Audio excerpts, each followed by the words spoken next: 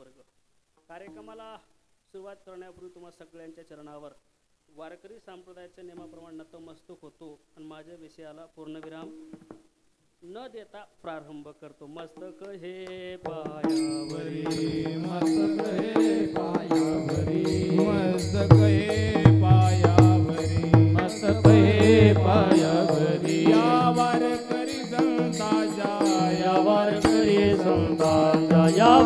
वारकरी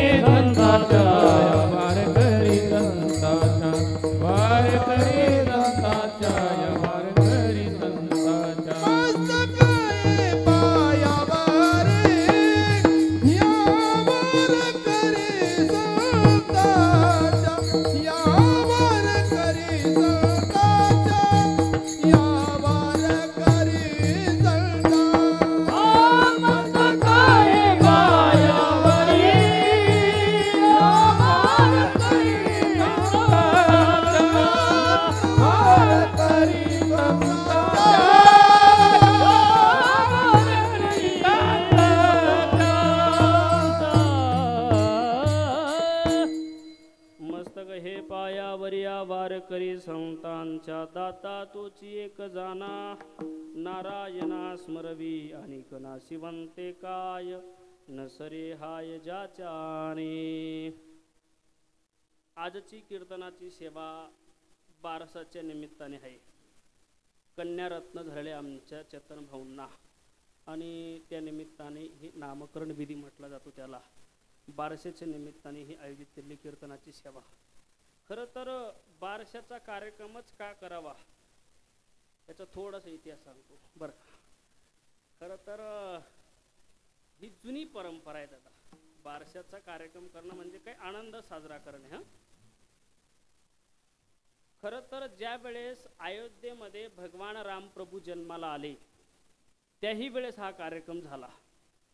मला वाटतं दशरथ राजांनी ज्यावेळेस रामप्रभू जन्माला आले वशिष्ठांना सांगून त्याही वेळेस त्यांनी अयोध्येमध्ये कथा कीर्तन करून घेतले. हे रामप्रभूंचे जन्म झाला त्यावेळेस. मला वाटतं हे नसल परिचित आपल्याला. पण ज्यावेळेस गोकुळामध्ये भगवान कृष्ण परमात्मा जन्माला आले त्याही वेळेस आनंद साजरा केला. ज्यावेळेस भगवान परमात्मा जन जन्माला आले गोकुळीच्या सुखांत पार नाही लेखा एवढा आनंद साजरा केला गोकुळातील स्त्रियांनी महिलांनी लोकांनी किती आनंद साजरा केला. मला वाटतं भगवान परमात्मा जन्माला आले गुडिया उभारल्या. कर ती कथा गाती गाणी. गुडिया तोरणे.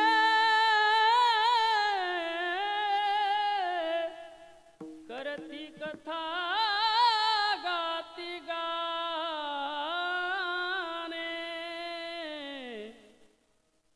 कथा गाती गाणे.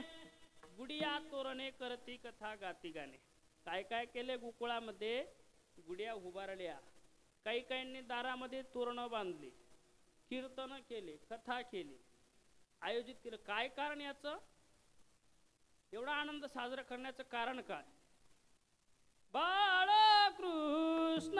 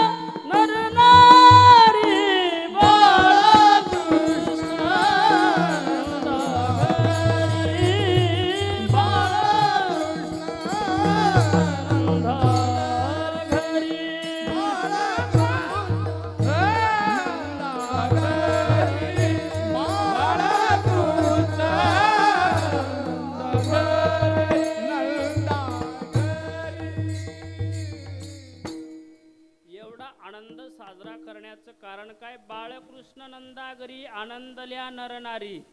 ज्या वेळेस भगवान परमात्मा जन्माला आले यशोदा मातेच्या घरी सकाळी सकाळी एक गवळण झाडलोट करण्यासाठी गेली योगेश महाराज. आणि झाडलोट करत असताना तिने यशोदा मातेजवळ मुलगा पाहिला. आणि तिला एवढा आनंद झाला एवढा आनंद तिने सगळ्या गावामध्येच बोबाटा केला गवळण म्हणती गवळ नीला पुत्र झाला यशोदेला गवळण म्हणती गवळ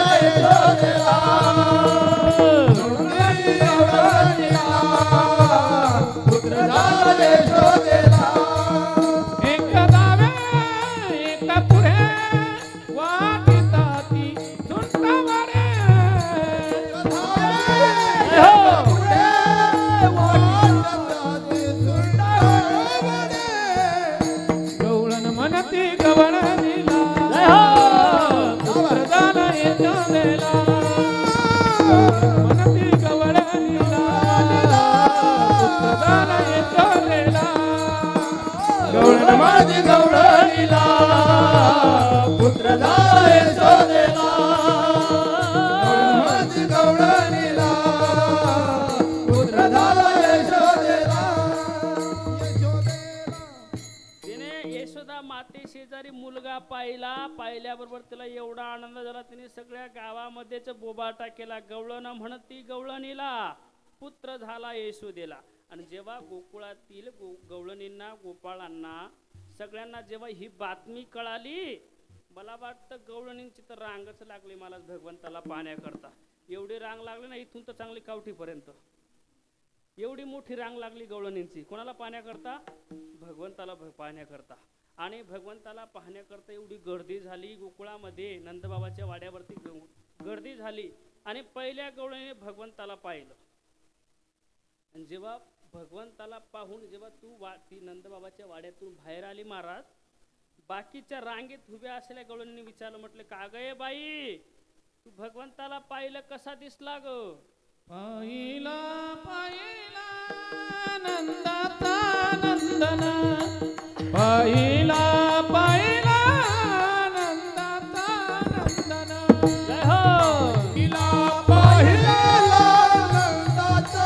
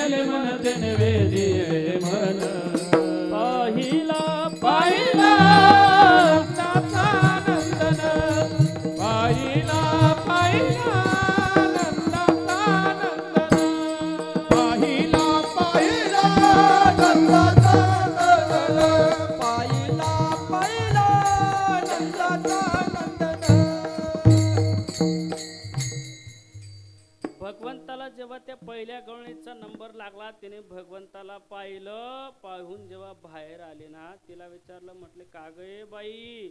कसा दिसला ग तुला? महाराजांनी सुंदर प्रमाण दिलं. पाहिला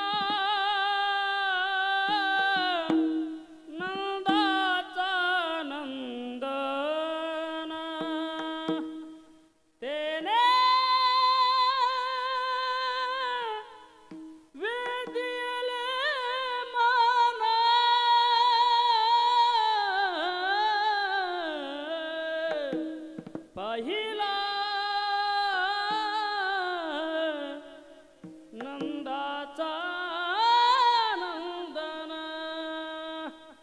भगवंताला पाहिलं त्याने म्हटलं अगं मी त्याला पाहिलं ना माझं मनच मोहून घेतलं म्हटलं त्याने.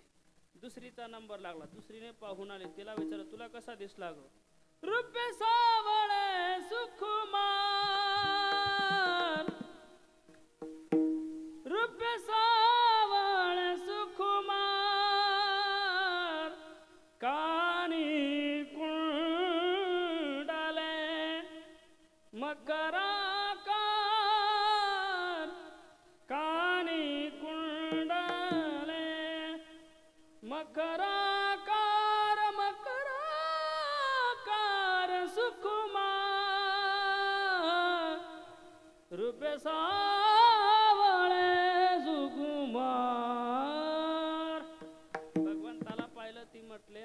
सुंदर आहे तो.